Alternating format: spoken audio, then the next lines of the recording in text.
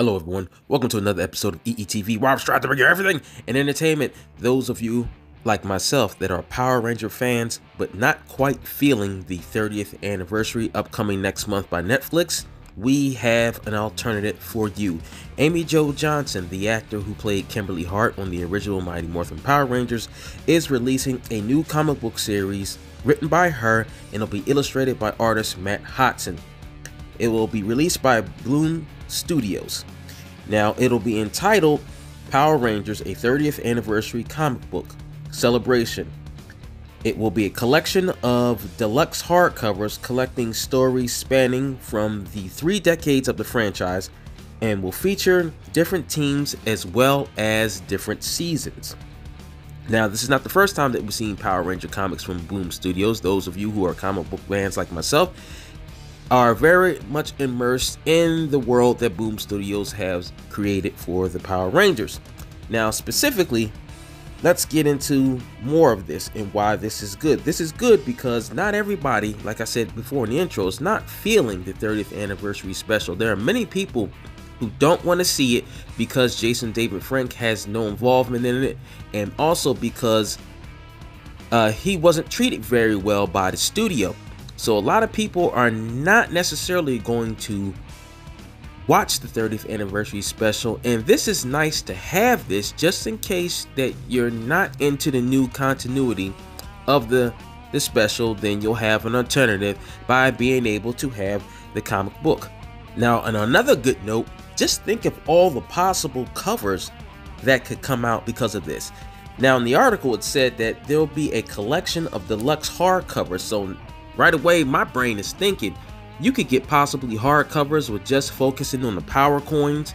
You could get hard covers focusing on the weapons, the Zords, the cast that played the Power Rangers, and they could relive, um, relive some of the the iconic scenes that we have been used to over the years. And since Amy Jo Johnson is the one writing this book, the one thing that comes to my mind is the scene where she's using her morpher and transforming into the pink Power Ranger on the first Power Rangers movie when she holds the morpher out towards the camera and then the coin grows bigger and then she you'll see her in the pink Ranger suit. That is definitely I, I think that should definitely be a hardcover and not just any old hardcover but you know the one when you get a little bit of rubber on it and you can feel the different textures. I think it should be that. I mean, they could go with a bunch of and, and, another thing that came to my mind you could have focused on the morpher on the outside of the cover and there's a hole in the center of the cover and then you get the power coin that's inside and the power coin inside is a real power coin that you could take out if you want to. Now i know something of that nature will cost more money but that's a definitely collector's item that uh, Power Ranger fans like myself would pay top dollar for. Something you can get a focus like that and actually get a 30th anniversary power coin that comes with it that you can take in and out the book. That, that's just great. I mean, my mind is flowing with this, so I can just imagine what the artists that are more talented than myself was what could come up with as far as these covers and I can't wait till they not necessarily release a synopsis for the story, but I would like that as well too. But I would also like to see just some, not all, but just some of the covers that it came up with so we can decide which ones we want right away. Now, another thing I like to focus on is the actual story. Like I said, Boom Studios will be uh, in uh, releasing this comic book with Amy Jo Johnson writing it and Matt Hotson it will be the artist. We now just imagine this. Now the reason why I'm excited about this story is because Amy Jo Johnson was with this show for a long time. I think she left the show in 1995. Now, we can get some unanswered questions that Boom Studios not necessarily focused on. Now, I know Boom Studios had focused on comics where Kimberly Hart is leading her own team, and that's Beyond the Grid. And then uh, uh, there was another one, um, Power Rangers Ranger Slayer number one, that one shot, that was good as well. Now, if you think of those stories, now think of where else they could take it that's not necessarily collect connected to those two comics. Now just imagine, it would be interesting to see where uh, Amy Jo Johnson takes the character of Kimberly Hart. You know, uh, you know, where are the other teams she met with first? Like, like did she run into SPD first, or you know, just being Kimberly Hart, or did she run into uh, the Turbo Power Rangers. That's after TJ was the leader of the team. Like, who did she meet over the years being a former Ranger? Who did she assist and help with? What kind of Kimberly Hart are we going to be introduced to in this comic book series? Is it going to be Kimberly Hart post college? Or are we going to have a Kimberly Hart that's finished college and she's, you know, working her full time job? Or she's still associated with gymnastics? And how does she get back into the world of Power Rangers? Is she selected by someone to help out on the mission like they did with the Omega Rangers? Or is is or maybe is she helping out someone who had possible had a possibility to time travel and she meets Time Force Pink and does it go does it go that way? I'm I'm just throwing different things out there based on the continuity of the comic books that I read and all the years that I watched the show. I'm just throwing things out there that are we going to get a nod to uh, an all pink uh, Ranger team teaming up to take out a foe? I mean, I'm just throwing ideas out there.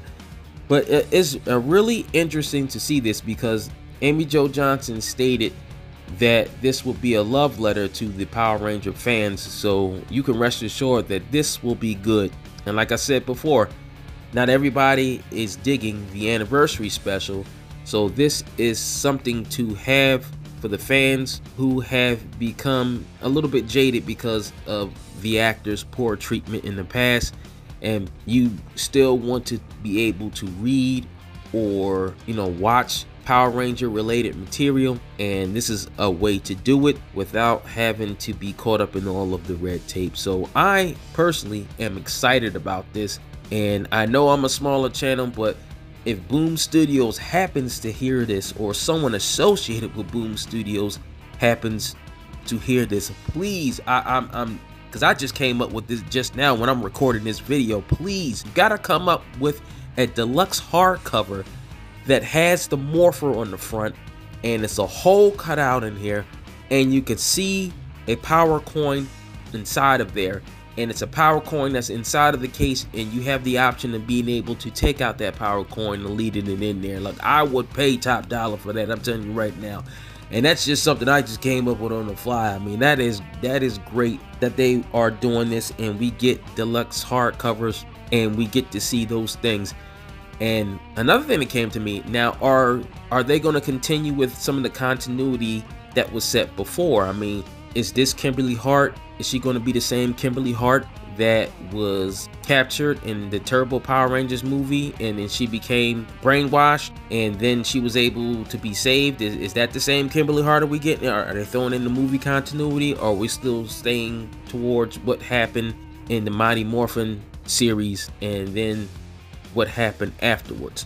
I mean, it'll be interesting to see where they're going to take this and i for one am excited because they said they will be highlighting different teams also, they'll be uh, highlighting different things that happen during the, the show, show too. So not only do we get to see some of our other favorite Ranger teams in action all over again, we also get to see all of the different scenes that have already passed and that we enjoyed like when tommy lost his powers and then was able to uh, get them back for a brief period i mean we might get to relive that again uh, we, we get to see uh, the transformation of the Mighty Morphin Power Rangers into the zero Rangers. I mean, it's interesting to see, see where they're going to take this and who's going to be the star of it. I think it'd be nice if we get different views and perspectives from all the different ranges. And who knows if this is successful, and it was successful because it raised, if I'm not mistaken, over $25,000 in just 24 hours. Now, if this is successful, Maybe we can get former cast members of Mighty Morphin like Walter Jones or, or David Yost or Catherine Sutherland or Steve Cardenas or Karan Ashley or Johnny Yong Bosch to throw in some things as well for all the characters they played. I mean, I'm looking forward to this and I can't see where they're going to take this next. Well, once again, thank you for joining me. Check out Boom Studios website if you want to get more information on this. And I think this will be something that the, uh, all of the Power Ranger fandom can get behind and will enjoy. Thank you very much. I'll see you in the next one. May the power protect you, everyone. Take care.